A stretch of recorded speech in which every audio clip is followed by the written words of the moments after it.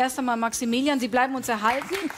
Wir haben aber noch jemanden, bleiben Sie einen Moment hier, wir haben noch jemanden eingeladen, äh, der durchaus der Meinung ist, äh, dass die Grünen eben ein bisschen aus der Zeit gefallen sind. Oh, jetzt. Jetzt. Claudia Roth, die letzte Verfechterin grüner Utopien. Sie verteidigt leidenschaftlich Multikulti, mahnt den Islam nicht unter Generalverdacht zu stellen und warnt vor dem Überwachungsstaat. Der ehemalige Bezirksbürgermeister von Berlin-Neukölln, Heinz Buschkowski, hält dagegen. Multikulti ist gescheitert. Der Islam ist mit einer demokratischen Gesellschaft nicht vereinbar. Er ist, anders als Claudia Roth, für mehr Videoüberwachung und sagt, die Grünen sind ein Sicherheitsrisiko.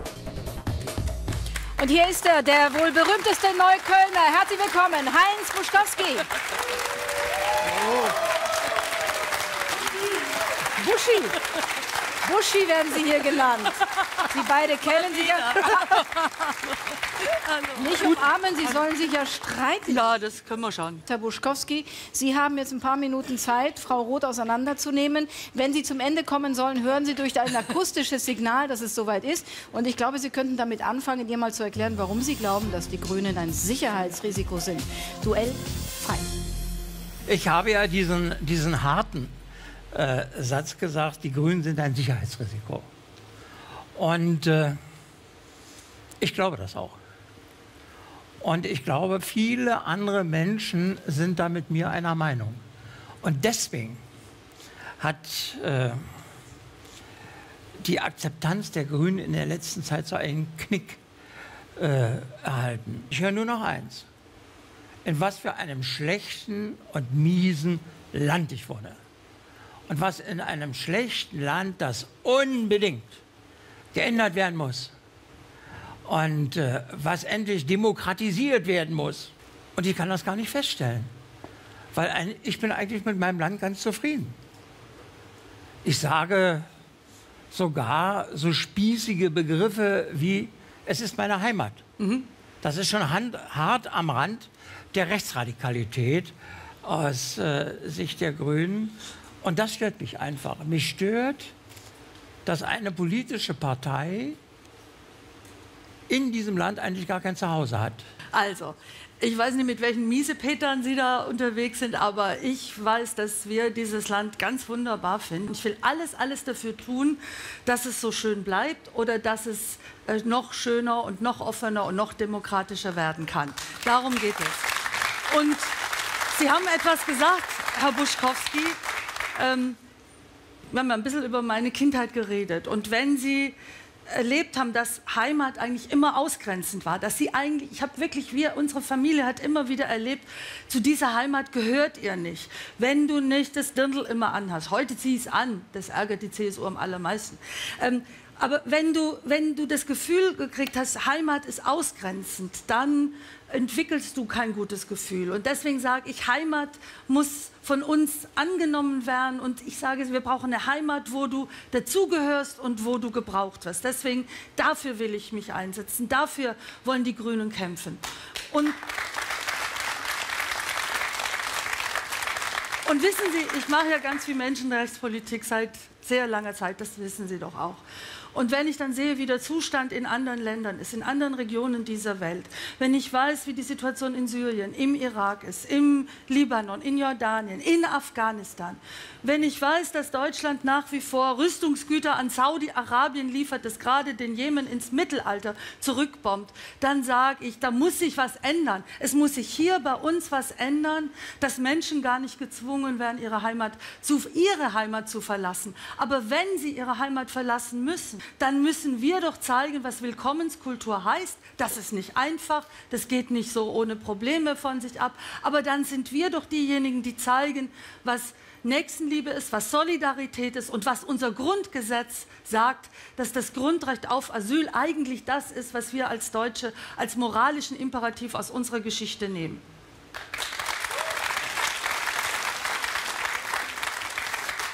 Frau Roth, ich will Ihnen ja nicht zu nahe treten, aber das, was Sie gerade leidenschaftlich vorgetragen haben, war, Deutschland rettet die Welt? Nee. Ja. Deutschland rettet die Welt und komme zu mir, alle, die ihr mühselig und beladen seid. Nein. Und das geht natürlich nicht. Das Natürlich. ist die Abkehr von der Lebensrealität. Es gibt auf dieser Welt Milliarden Menschen, die nicht das Glück haben, in einem Land wie Deutschland geboren worden zu sein oder zu leben. Die in Diktaturen leben, in Verhältnissen, wo man Frauen steinigt, wenn sie mit einem Mann einen Kaffee trinken und, und, und, und, und. Aber es wird nicht in unsere Hand gelegt werden, auch nicht in den nächsten 30 Jahren, dass Deutschland in diesen Ländern alle diese Verhältnisse ändert.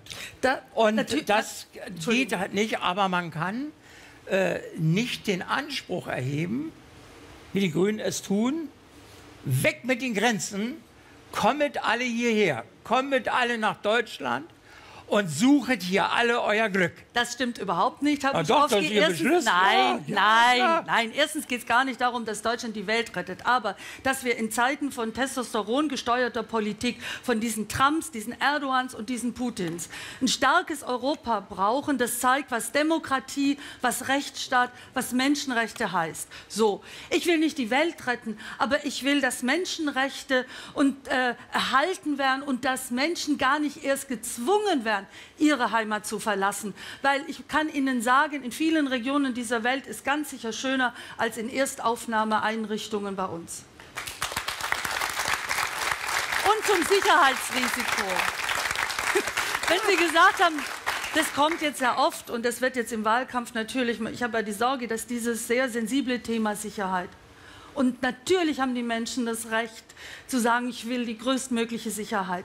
Aber zum Thema, das, wenn das von denen kommt, die systematisch über Jahre Polizei abgebaut haben, Tausende von Polizisten von Stellen abgebaut haben, dann ist es wirklich doppelbödig. Oder wenn andere mal im Fließband Gesetze machen, die überhaupt nichts wirken und alte Gesetze nicht mal anwenden. Nochmal, größtmögliche Sicherheit, ja, da sind wir, glaube ich, einer Meinung. Aber der alte Benjamin Franklin, lange ist her, hat etwas gesagt, was, was wir nicht vergessen dürfen. Er hat gesagt, wenn wir Sicherheit wollen und Freiheit einschränken, dann werden wir am Ende beides verlieren. Ich will nicht meine Freiheit verlieren, unsere Freiheitsrechte einschränken müssen, weil dann hätten die Terroristen, die wir bekämpfen müssen, aber dann hätten die schon gewonnen. Ja, ja, ohne Zweifel, Frau Roth, Sie sind Profi. Ich erzähle Ihnen was von, von der deutschen Grenzpolitik und Sie antworten mir mit Benjamin Franklin. Ja, das war, äh, ja, Das ja, war das war schon ein, ein adäquates Ausweichen. Nein, Ja, und äh, nein, das ist. nein, aber es ist keine so, Ausweichung. So kann man doch die, die Welt nicht sehen. Man kann sie so sehen, weil sie ist ungerecht. Die Welt hat auch noch nie den Anspruch erhoben, gerecht zu sein. Das Leben übrigens auch nicht. Aber wenn Sie von meinen äh, Bürgerrechten, ich sage Ihnen, bei mir steht das Bürgerrecht der Unverletzlichkeit meines Körpers, wenn ich über den Hermannplatz in Neukölln gehe, gegenüber dem Bürgerrecht am eigenen Bild. Und was sagen mir meine Grünen in Berlin? Bei uns gibt es keine Kameras auf kriminalitätsbelasteten Orten. Das schränkt die Bürgerrechte ein. Hallo, wissen Sie was? Ich lasse mich lieber filmen als verkloppen. Äh, und äh, so achte ich meine äh, Bürgerrechte. Sie wissen, und dann gen sag- Sie wissen genau, dass es so nicht stimmt. Natürlich wir stimmt nicht, es so, aber- nein, dass aber wir nicht, grund, stimmt das dass wir so. nicht grundsätzlich Ja, gegen die Überwachung sind, sondern dass wir sagen, Überwachung an wirklich neuralgischen Punkten ja, aber viel besser als die Überwachung zu, wäre zusätzlich Polizeikräfte zu haben, die vor Ort sind, die schnell eingreifen können und die in der Lage sind, genau diese Konflikte zu Können Sie deeskalieren. mir nach der Sendung ein kleines Zettelchen für Ihre Fraktion in Berlin mitgeben? Ja, gerne. Das, das haben die noch nicht. Ja, dann reden Sie Ja. doch mal mit dem Dirk und mit denen. Doch, Ah, doch, ey, doch. unser, unser Justizsenator ist damit beschäftigt, weil er auch endlich mal auf eine Toilette mit einem D gehen will, die geschlechterneutrale Toilette einzuführen. Der ist nur mit anderen das Sachen sind, beschäftigt, Herr das, das sind ihre Probleme. Ja. Nee, nee, nee. Aber, Diese also, beiden nein, Parteien, meine Damen und Herren, ob Sie es Nein. glauben oder nicht, regieren zusammen in Berlin. Ich kann nur sagen, ich will kein anderes Land, ich will auch kein anderes Volk und ich will mich auch nicht umerziehen lassen und viele andere mit mir auch nicht. Vielen Dank für diese klare Haltung. Herzlichen Dank. Heinz Witkowski, vielen Dank. Geben Sie mir noch mal die Note. Tschüss. Tschüss. Tschüss. Tschüss.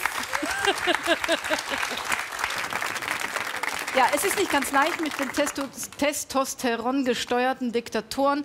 Ähm, da hat Claudia Roth viele persönliche Erfahrungen gesammelt, unter anderem mit dem